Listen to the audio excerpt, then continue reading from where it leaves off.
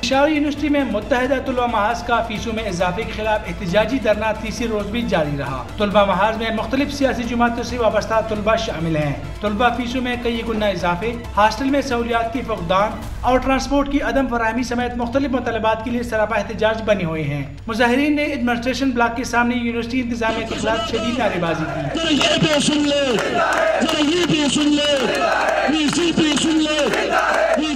مظاہرین کا کہنا تھا کہ جامعہ کی جانب سے ان پر اضافی مالی بوجھ ڈالا جا رہا ہے جس سے ان کے لیے تعلیم کا سلسلہ جاری رکھنا دشوار ہو گیا ہے۔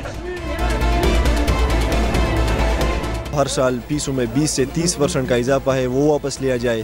ہاسٹل کی سہولت دی جائے تمام اسٹوڈنٹس کو ٹرانسپورٹ بحال کی جائے اسکالرشپ دی جائے اسٹوڈنٹ یونین بحال کی جائے ڈراپ آؤٹ سسٹم ختم کی جائے۔ یہ اضافہ دس فیصد کا ہوتا ہے۔ لیکن جب حقیقت میں یہ ہے یہ تیس اور چالیس فیصد کا ہے۔ میں خود جیالوجی کا اسٹوڈنٹ ہوں اور میری فیس چھبیس ہزار سے اڑتالیس ہزار پر پہنچ چکی ہے۔ ہمیں ٹرین تو کیا جاتا ہے لیکن یہ لوگ کہہ رہے ہیں کہ ہماری ڈگری ریکوگنائز نہیں ہے ہماری ڈگری کی کوئی ویلیو نہیں ہے۔ یہ کیا بات ہے؟ جو ہمیں ٹریننگ دے رہے ہیں فیسز لے رہے ہیں اور بعد میں کہہ رہے ہیں کہ ڈگری کی ویلیو نہیں ہے۔ ہم یہی اپنے حق کے لیے آواز اٹھائیں گے اور جب تک ہماری بات نہیں مانیں گے ہم یہی دھرنا دیں گے اور یہی اپنی کوشش کریں گے۔ احتجاج میں طلبہ کے ساتھ ساتھ طالبات کی بڑی تعداد بھی شریک ہے۔ دوسری جانب یونیورسٹی انتظامیہ کا کوئی بھی نمائندہ تین دن گزر جانے کے باوجود مظاہرین سے مذاکرات کے لیے نہیں آیا۔ کیمرمین محمد حیات کے ساتھ مسرت اللہ، دنیا نیوز، پشاور۔